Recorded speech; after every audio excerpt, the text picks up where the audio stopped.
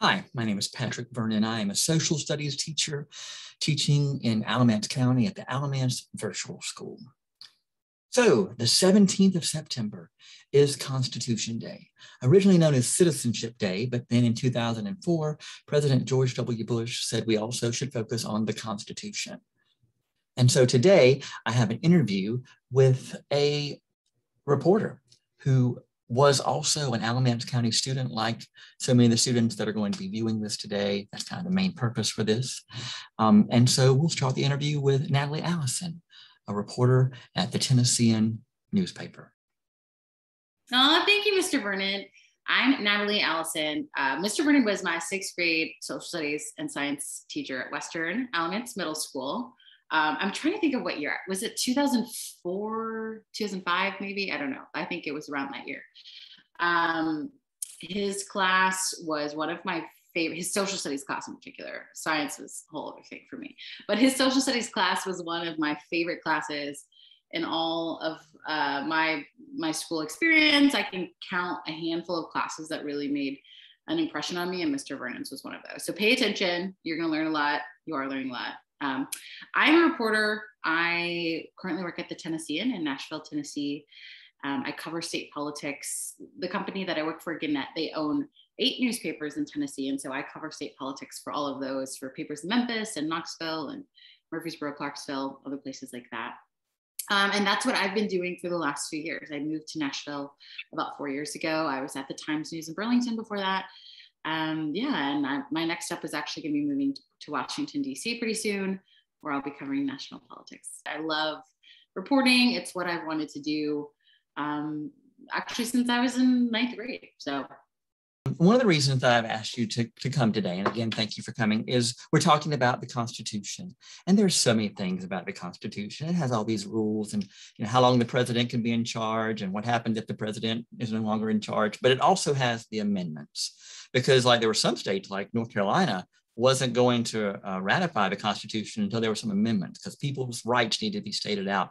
And the First Amendment has lots of different rights in it. There's freedom of speech and of religion, but, but the freedom of press. And so that's one of the reasons I asked you to join us today, because being a reporter, why do you think uh, freedom of the press is so important? And obviously, the First Amendment, freedom of the press is a big part of that, but uh, also just freedom to to practice religion of your choosing, freedom to protest the government, um, all of those kind of things are tied up in one in that um, the, our government, they, they can't tell us what you have to believe or what you have to say or what you have to profess um, or anything like that. And that, that translates to the media and that um, unlike in some countries where reporters are essentially censored from what they can publish about the government and government corruption and, and mistreatment of people, um, that's not something the government can do here in the United States. And we can write and report stories that are going to make the president very mad and make the people in power very mad and make the governor mad and, and make your local school board members mad. And guess what?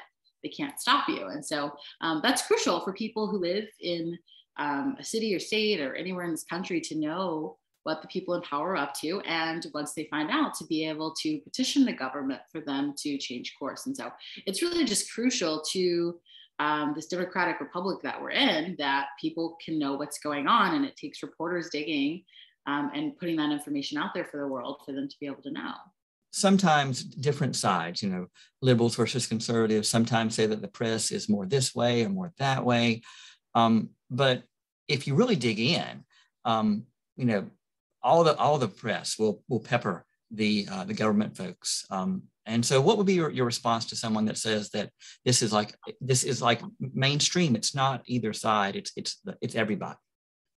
Yeah, I mean it, it's so important for regardless of a publication leaning or bias or even if they're reporting something that you would dispute as factual to have the right to do it because you know where do you draw the line um, so yeah i mean that's that's crucial it's crucial that that both liberals and conservatives and folks in the middle and libertarians and um, socialists and whoever else, you know, they in America they have the right to to publish news through their lens. And I think it's healthy today for people to consume a variety of different types of news. Um, you know, if if your family only watches um, one type of TV news, then probably most of the way they're going to think about things, talk about things in your house will probably echo a lot of what they're hearing on that channel.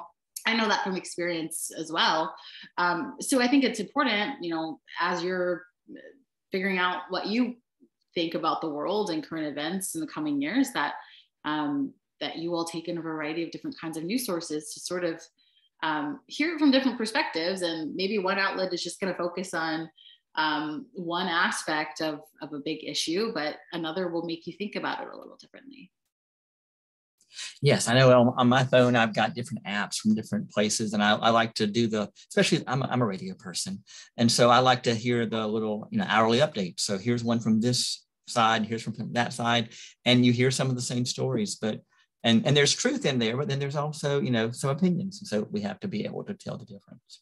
Yeah, I find often, you know, the truth is somewhere in the middle from all what the what all the talking heads are saying. And so, um, and also, and, and there's a difference in turning on the news and, and having these um, people offering commentary and their opinion versus reading, you know, uh, what we would call a hard news story in journalism that um, comes from a more traditional publication. As the interview continues, I want to give you some context. And so there are some links to some articles, one that Natalie wrote, and it's where the governor of Tennessee is talking about the decision that he's made. Um, one of the things that I hear in him say is that we are on a quest as a country to become a more perfect union. And that goes back to the preamble we, the people of the United States, in order to form a more perfect union. That's a process. And so the governor was talking about the process that as we grow and evolve as a country, that we are on that continuing quest. So there'll be a link at the bottom of this video that you can go to that article. I was following a story that you've been doing where there were some statues in the um, in the Tennessee government houses that um, the people at that time were prominent leaders, but it's also been found out since then that they um, had views that we now see as as racist, and and so um, can you kind of go into what was the decision that they made to take that down? Um, so this is a years long story in Tennessee. So there um, there are some statues. They're called busts because they're like a statue from the chest up of a few different historical figures in the Tennessee State Capitol um, which is where the, the House and the Senate meet and, and hold business. And um, one of one of those was a, a, guy named Nathan Bedford Forrest, who he was um, in the Civil War. He was a Confederate general, um, had led a battle that uh, many historians historians today say was was essentially a massacre, uh, predominantly of, of surrendered Black Union soldiers. Um, he before the Civil War, he had been a slave trader. Um, after the Civil War, he went on to become one of the early leaders of the Ku Klux Klan. And so, you know, he he when people think about folks they want to honor, many critics of the statue would say this is not someone who needed to be honored in the halls of government. We have all of these other Tennesseans who have contributed many positive things to the world. Um, and yet his, his statue was put up in 1978. So it wasn't like this happened right after the Civil War. This happened, um, you know, and, and some of the legislators who are still there in, in their time in, in service. Um, they started having that conversation in Tennessee, and it's gone on for years. There's been votes to remove it, and it didn't pass. And and the last governor couldn't get it down, and this governor finally said, "Enough is enough." He's actually a Republican. Uh, it's time for this to come down. And it was very controversial. Um, but when it came time for them to take down this statue in this public space, um, they the, the state troopers um, and some other building officials started telling the reporters we had to leave that we couldn't stay there and um, there was this it, it, was longer than it was captured in this video but there's this video that started going around sort of the tail end of my uh, I don't want to call it a standoff. It's probably a little dramatic, but um, my interaction with a state trooper, he was one of several who had come over to me um, to try to force me to leave this public hallway where I, as a reporter, was waiting for the statue to be removed so we could document it. And um, I, I, knew what the law said. I knew that the law said that the, the House and Senate speakers, those are the people who control the House and Senate chambers in Tennessee, that they actually had control of the second floor of the state capitol, which is where their chambers are. And I knew that, you know, this trooper couldn't tell me I had to leave. I knew that um, the governor's office, who was directing the troopers to do that, actually didn't have the authority to tell us to leave. Um, and so as a reporter, I, you know, I, I stood on my right to be there. This is a public space uh, first of all, uh, that's most important. Secondly, I know that the Tennessee state law said that as a reporter um, or as any as a member of the public, you know, these people can't tell me to leave without the permission of the House and Senate speakers. And so finally, you know, the the troopers they picked up the phone, they called the House and Senate speakers, and sure enough, um, they said, yeah, you know, this reporter has a right to be there. While Natalie was in the state government building there in Tennessee, a fellow news outlet the Tennessee Holler, started recording and putting on Twitter the interaction between Natalie and the state troopers. Right to be here. No, man. I see that you're in my face. That's fine, but I'm gonna make sure. Go. go. We've asked you nicely. Natalie is right there. I'm gonna make sure nothing happens to Natalie. Nothing's gonna happen to her. Okay, that's good. No. I, I have a right to be here. I do. Door's closed. Instructions. You can go down to the first floor and stay all afternoon. Hey, the troopers are like standing here telling me I have to leave. This is I the, told them the two speakers control the second floor. They say, claim that general services controls the hallway. Yes, yes. I mean, are this, can the speakers come and, and do something like this? Go ahead and start putting those ones up over there on Okay, the well, stage. apparently not fast enough because Yeah, just leave, uh, highway patrol is still trying to force them to leave. and then once they're down, we'll pick off the ones at the bottom. the ones at the bottom. Yeah, I've said that.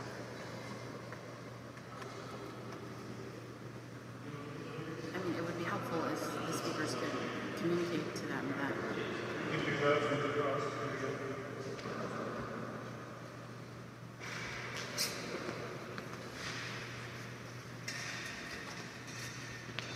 All right.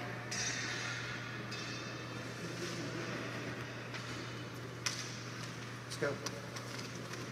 I have a right to be here. No, you don't. I'm not gonna tell you again.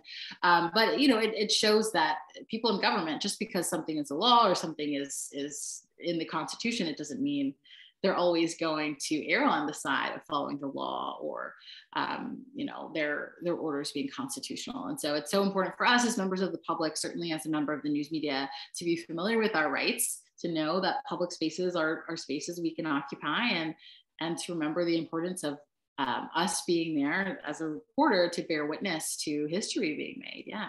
In this day and age, sometimes there has to be footage of it. So, like, there was a colleague of yours who was actually what streaming it on Twitter, I think. Yeah. Um,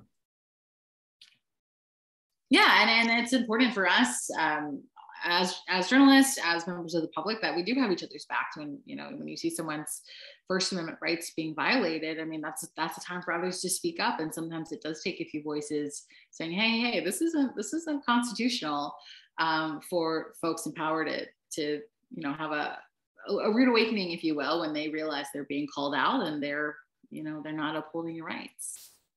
and we all have to, I think, speak up for the freedom of the press because, you know, the people in power change. And so if the press is ever diminished, that, you know, and then someone, you know, the party power changes, then, you know, we, we've got to keep the, the, the press free. Yeah, absolutely. It's important. So what other things would you like to share um, before, before we head out that, you know, you wanted to pass on to the students either about the Constitution or just like following uh, what you enjoy? Um, Yeah. Um, so I think I mentioned this earlier, but so being a reporter is something that I have wanted to do since I started high school. Um, it was actually a high school ninth grade history class project, um, but it got me thinking about becoming a reporter.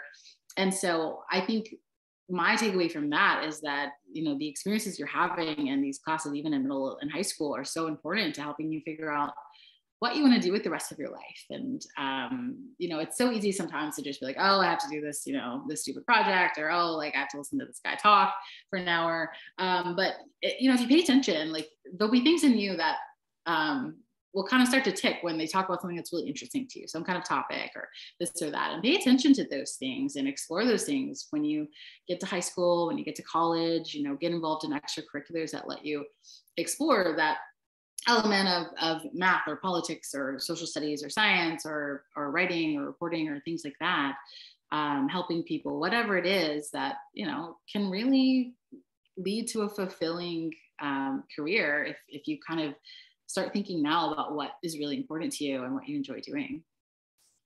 And of course, here comes the teacher in me. Sometimes you don't realize at that moment that it's what you're interested in, right? So you just kind of want to, you need to dive in and maybe find out it's something you didn't realize that you liked, right? Yeah, yeah, be open. Just, yeah, be open. Have an open mind, even if it doesn't seem like something that your friends or your family have ever been interested in. If, if there's some topic that's really interesting to you, um, yeah, follow that, go after it. I, I, I I enjoy seeing where my classmates are now and remembering what they were like in school and things, the topics they were really smart in and, and where they excelled and how I learned from them then and how many of them have kind of followed similar trajectories and, and exploring, um, you know, areas of work that that made sense based on what they liked then and, and just people who had open minds to, to learning and um, yeah, Mr. Vernon is is brilliant. So definitely, definitely listen when he's talking and or any teacher for that matter. Any teacher, but particularly Mr. Vernon. I can't speak for any other teacher, but yes, he's great. And earlier, before we started recording, you said that you've um, you're, you're packing up, moving to DC. So I guess I should get let you get back to your packing. But but thank you so much. Yes. Yeah, well, it's great to talk to you all. Happy Constitution Day, everyone. Thanks for having me, Mr. Vernon. So I definitely do thank Natalie for coming today. And I thank you for watching the video. And I think Governor Bill Lee, uh, if you go to that article that's down there at the bottom, Governor Bill Lee of Tennessee talks about how we are in a quest for a more perfect union. Our Constitution is the oldest written constitution in the world that's in, that's being used because it evolves and changes. And that quest that we have here in the united states for a more perfect union. Thanks for stopping by